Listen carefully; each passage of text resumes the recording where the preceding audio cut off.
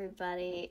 I'm not a YouTuber. Don't expect this to be a YouTube video. It's not entertaining and it's just for me. So there you have it. As a person who loves movies, I truly did have a phase in my life where I just would only watch short films and really didn't care much about movies. This was when I was like 11 or 12 ish. From those times in my life, I have some of my favorite, favorite films that I think everybody in the world should watch. They're fantastic.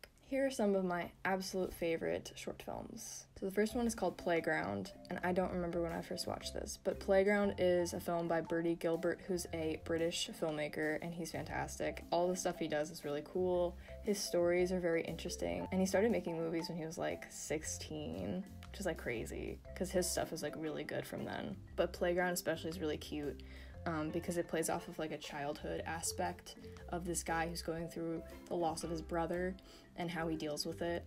And everything about it is really cute. Um, the set design is my favorite because the sets look awesome. There's a lot of like creativity to it. So I love it. That one, definitely very cute, very emotional. Check that one out. It's awesome.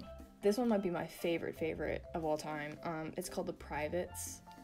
Weird name, I know but the privates is about like a band. And the band of people together create deadly music. It's it's it sounds stupid the way i'm describing it but it's actually really fantastic. Um, it's very funny. The characters are all very niche and you wouldn't really expect them to get along because of how like weird they all are. But that film has really good lighting and good acting. Oh my gosh the acting is just so superb. I've written scripts inspired by this film, so you should definitely watch it. It's very good. Uh, here's a film that I really like, and it's an animated film actually. It's called Mr. Madila. I don't know, it's endearing. It's it makes you think. It's very philosophical at the end which I like. I like exploring philosophy in films, and I haven't really seen an animation do what it did. Just watch it, it's great.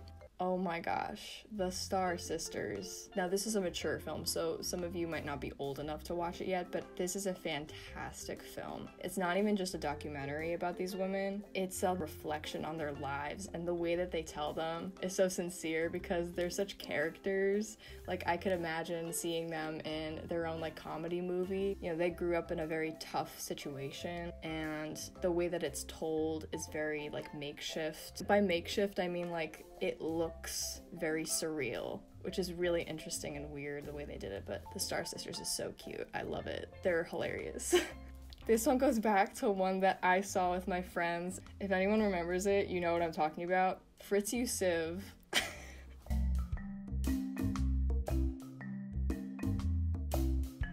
Fritz You It has a great use of editing skills and especially lighting. If you happen to have epilepsy or suffer from sensitive eardrums or don't have a sense of humor at all, I don't think this is the film for you, but it definitely is something new. I've seen it at least three times now, so I can follow it because I've seen it three times. The first time I watched it, I was laughing so hard I like cried. It was great. Yeah, I'll just leave it at that. I'll just, yeah, I'll just leave it at that.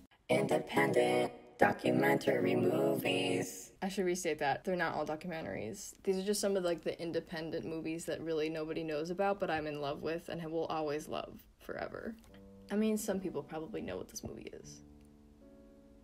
It's called St. Vincent with Bill Murray and Melissa McCarthy. It hits me so hard. The story is so impeccable. Everything about it is very emotional because it mixes some sort of like humor and loneliness together and how people, you know, nobody has a perfect life and everybody struggles and everybody has something to deal with and they combined all of that and just made it funny and put Bill Murray in it. It's my fourth favorite movie on Letterboxd. Go follow my Letterboxd down below. It's funny that like I've seen this movie a hundred times now because I recognize that one of the actresses is in my second favorite movie that I'm listing here. What do you know? Okay, so the next film that you need to see right away, this minute, is called Sisterhood of Night.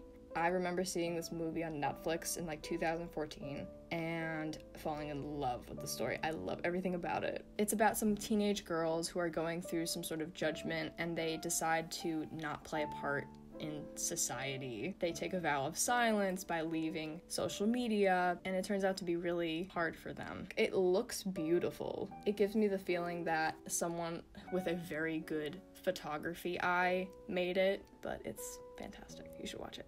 This is one of my favorite documentaries ever. Ever. This documentary was recommended to me by one of my teachers actually, and we were just talking about like New York accents one day, and I he recommended me this film, and I watched it and I loved it. I don't know what it is about this film. There's nothing special about the cinematography in my perspective, but the stories that people tell and the community it surrounds in New York and like the different boroughs and how everything is kind of connected, it really resonates with me, and I've watched this film at least twice a year if not more. It's free on YouTube, so if you want to go watch it, you should definitely check it out. It's really good. So, I think that's pretty much it for now. And if you're sitting at home in the winter during the pandemic, having nothing to do, please check these out. I'm gonna put all of the links to all of the films below so that you can see them. Friends, please, I, am not a YouTuber. Please don't tell me that I need to do this again because I don't want to do this again. That's the truth. Uh, stay healthy, take care of your friends and family. Don't get stressed out, love each other. That's a very good thing. In this world, I know there's a lot of stuff going on. Love each other. Um, what else? Have a good time, have fun.